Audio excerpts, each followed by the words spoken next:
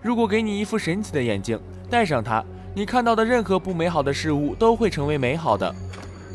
摘下它，你会看到一个真实的世界。你是会选择戴上它呢，还是摘下它？父亲和儿子正在复古华丽的客厅里坐着下国际象棋。突然，爸爸的眼睛里有些电磁波动，随后对面的镜子里出现了一副邋遢老头的模样，和父亲的姿势一模一样。恐怕是眼镜出了故障。父亲决定出门维修眼镜。他叮嘱儿子千万不要离开家。出了门的父亲，眼镜面前总是会模模糊糊的看到一些人，于是他自己恍惚间撞到了一个年轻人，而这个年轻人看到了他的眼镜，毫不客气的给他抢走了。眼镜摘下来之后，他周围的样子，这个世界真正的面貌也显露了出来。原来这里其实是在未来世界的一处废墟，聚集了周围的其他人，都是你在这个世界底层苟延残喘、勉强活下来的游民。在家中的儿子感到了外面的动静，自己鼓起勇气穿上衣服走出了家门。但是他刚出门，就把正在家门口玩耍的两个小孩子莫名其妙的给吓倒了。两个小孩突然大哭，并且吓跑了。与此同时，小男孩的父亲也为了逃避现实，在黑市又买了一副眼镜。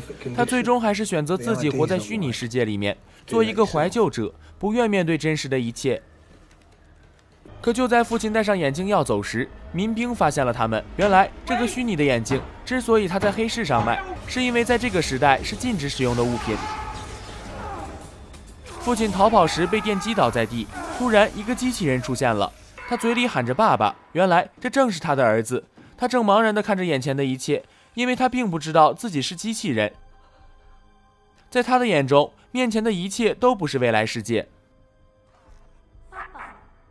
其中一个民兵毫不客气地挑衅他，甚至将他也击倒在地。视觉系统突然恢复了，只是这一幕对他来说是陌生的。这时，民兵更加变本加厉地又把他击倒在地。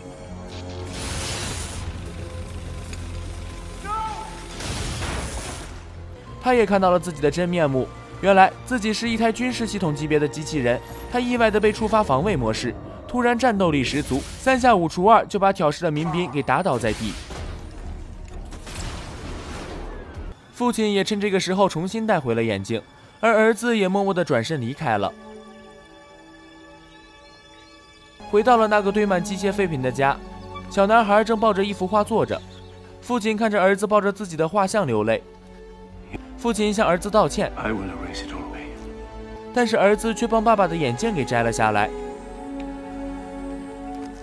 告诉他：“我爱你，爸爸。”可是爸爸却闭着双眼，不愿面对现实。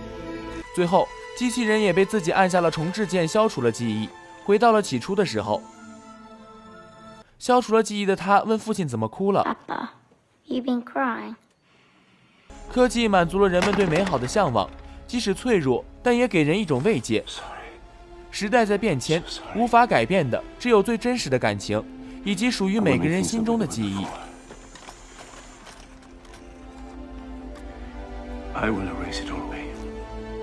以上就是今天分享影片的全部内容。大家对故事感兴趣的话，请点关注，欢迎在下方留言、转发和点赞哟。